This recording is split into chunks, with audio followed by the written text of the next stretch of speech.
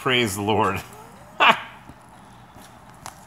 just deleted a couple of uh, pictures and my camera's working. What am I doing? I took off the master cylinder from my 1965 Monza. I just can't believe this camera's working. And I took this master cylinder apart. It's a single master. I wanted to convert to a dual master, but I just want to get the car running. There's a car show coming up this weekend. And uh, you take out the C-clip. After you take off the two bolts, you use your flare nut wrench to get the uh, fitting off. I'll show you the one that I bought later. Anyways, this master cylinder had been working but leaking into my interior, so I took it off the car and the dust cap is full of transmission fluid. Sorry, brake fluid. Whoops. Got transmissions on my mind. So I took this thing apart. It comes apart in three seconds. And uh, what do you think? You think this is salvageable? Do you think if I would have flushed the brake system, it would have cleaned that out? Maybe use some Thermocure? And I went into my parts supply, and look what I found. Canadian Tire Association or Associates, Rue Grenet, Grenet Street, Ville-Saint-Laurent. I think this is for my 66 Skylark that I bought in 1980. And I sold a few years ago, but it's new in the box.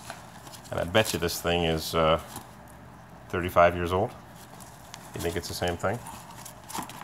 You think the Skylark uses the same master as the uh, Corvair? Look at that. Have to remember that the lens is on, where is it? It's on this side, not in the middle. So I keep off aiming the phone device. Look at that. I think it's the same. Look at that. 66 Skylark and a 65 Corvair. Part that I've had in the box for, whoops, sorry, keep forgetting. Had this sitting in the box in my junk pile for almost 40 years. I'm going to clean this out with some spray cleaner, like that. This is uh, brake parts cleaner, but boy, does it take off stuff. So I'm going to pause this, clean it on top of my former plasma cutter table, and uh, see what it looks like after I put you on pause. Don't go away. All right, what are we now? 30 minutes later. I found my drill, found my battery, found my three-legged honing tool. It's got three abrasive tips and I can't make the video because I need three hands or a tripod. It would be nice. oh, this place is too big to get organized. That's the problem when you buy a huge place. Let me just unplug this wire. I was looking at the seals in the new one, and when I was cleaning it, one of these things fell out of the old cylinder. The instructions are more instructions how to do the job. The print is tiny. When I turn the camera off, I'm going to Look at this.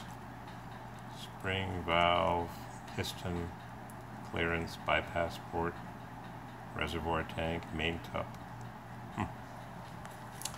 I found another one in my pile of junk. It's also a Delco Moraine. It's got that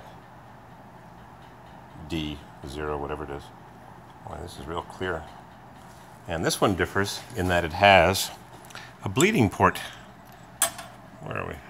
This one doesn't have a bleeding port the one that was on my 65, but the one that I found has a bleeding port. And it looks a lot better inside. Maybe I'll take it apart and look to see what it looks like. But I'm going to try. the guys on the Corvair forum are going to kill me. I'm going to try and rebuild it with the old seals because they look perfect. And I've done this before. Yeah, I know, taking your life in your hands. This thing would focus, these cups look perfect. Made in USA. Where did this thing come from? I've got to figure out where this goes. I have to Google it. I cleaned everything thoroughly with this. Uh, someone told me this is petroleum-based kerosene cleaner.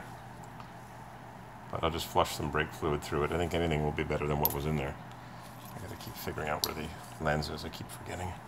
So I'm going to try rebuild it with the old parts. I don't think they're that bad.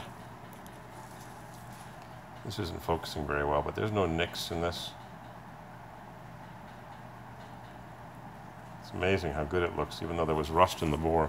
So I'm going to spray a bit of this brake clean in as lubricant. And then hone it a little bit. See if I can clean it up. I know a rebuild, rebuilt one is cheap, but I don't want to spend any money. And uh, my emergency brake works well that I cable tied together. It was broken, so I use a piece of used cable and I used four cable ties. And I've done this before in my Spider, which is right over there. And the brakes work. These things are real simple. This is low-tech stuff, like when it doesn't start, just pump more gas. Oh, look what's pouring out of it. Yummy. Oh, yeah. Oh, good juices. Yeah, these brakes were working. It was just leaking into the interior. Yahoo! Yeah, get those crosshatch marks. Crank her up. All right, I'm going to tinker around with this thing, and I'll put you back on pause, and hopefully I won't turn it off. Oh, the counter's going. Oops, I just dropped some parts. You like my new vise? I bought this several years ago for 50 bucks. It's a machinist's vise, and it's really heavy, and it was really cheap. Anybody got a vise? I'll be going to the homecoming west of Detroit, Plymouth, Michigan. Bring one there. I need a big vice, Big one with a big jaw, bigger than that. So I've been honing this, and I've got a spot of rust, but I don't think it matters. See that speck in there? Where's my little screwdriver? See that right there? But I don't think that matters because all the action happens further up. This is just a seal to keep the oil from running backwards into the vehicle past this dust cup. There's this piston here that goes in like this. Goes in, that's where the piston goes from the brake pedal. So we'll see. I've got another cylinder that I showed you with the bleeder on it. I took it apart. Yep, El Mucko. So I'm going to clean this one out. Try, trying to take some pictures for my buddy Nick, who's in Florida right now. It wasn't hot enough in South Carolina. Pretty nasty, huh? And the inside of the cylinder, the reservoir, looked really good. I don't know where I got this, probably from a Corvair show. So, and I know where this thing goes. This is just a bottoming stop. I found it inside here in the bottom. See it? It's just a bottoming stop. These are really simple. The dual ones are more of a problem. I've bought rebuilt ones for the last 35 years and they're sketchy. They work, they don't work, you never know. And they've got these new ones now that are probably made in China and the rebuilt ones are rebuilt in China and everything's made in China. So I guess I'll stop this video because I don't think it'll post. It's already seven minutes long, almost eight minutes. It's long enough. I'm going to clean this up thoroughly and put it back together with some brake fluid and bench bleed it and see what happens. Give her a shot. I'll tune you back in in a few minutes. Lots of good parts on my sheet metal cutting table. You like this? Angle sheet metal. Equipment incorporated. You pull this thing this way and it cuts your sheets of steel in that way and you got some electric magnets. It's not plugged in now. But this has got to go, this cutting notching apparatus. You need a big shop for it. And I need the room for more junk.